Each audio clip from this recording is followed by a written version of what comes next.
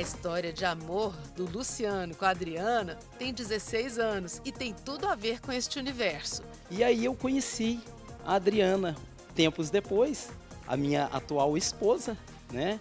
E também apaixonada. Tivemos três filhos, temos três filhos, né?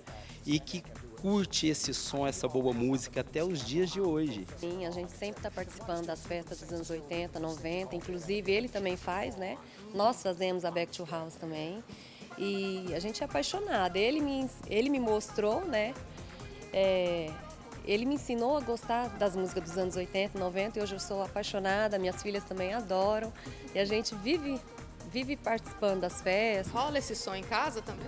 Rola sempre, sempre. Quem faz coro com eles sobre as magias dos anos de 1980 e 1990 é este empresário, o Helder, que conduziu casas de shows conhecidas da sociedade uberlandense. Começou com, com a Angels, é, num segundo momento veio o Visage, que também fez, fez história em Uberlândia, na sequência é, a Poison, que acabou de selar aí toda a história da noite de Uberlândia, do entretenimento. Foi uma época inesquecível, né? A turma tem um saudosismo muito grande quando se fala em reviver os anos 80, os anos 90, que de fato foram, foram anos maravilhosos. Né?